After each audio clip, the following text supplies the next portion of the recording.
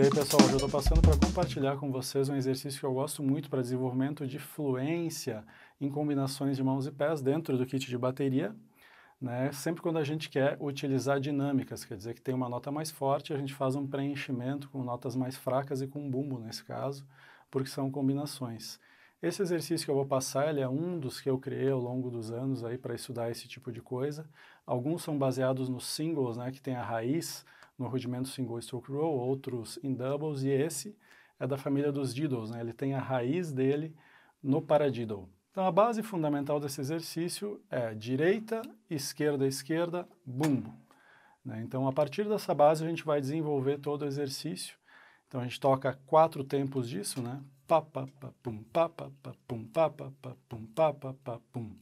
E para fazer a troca de assento, para deslocar esse assento, a gente dá dois bumbos. E assim a gente vai fazendo a cada quatro tempos. Então vai cair um assento na primeira, depois na segunda, depois na terceira, depois na quarta, pensando em bloquinhos de quatro, né, em semicolcheias.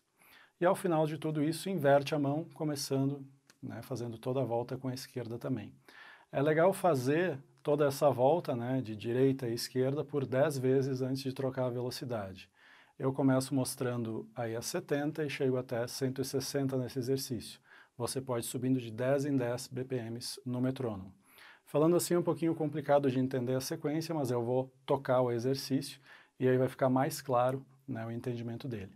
Então espero que vocês gostem, aproveitem e usem esse exercício para o desenvolvimento da fluência aí nas combinações de mãos e pés com essa base em diddles, ok?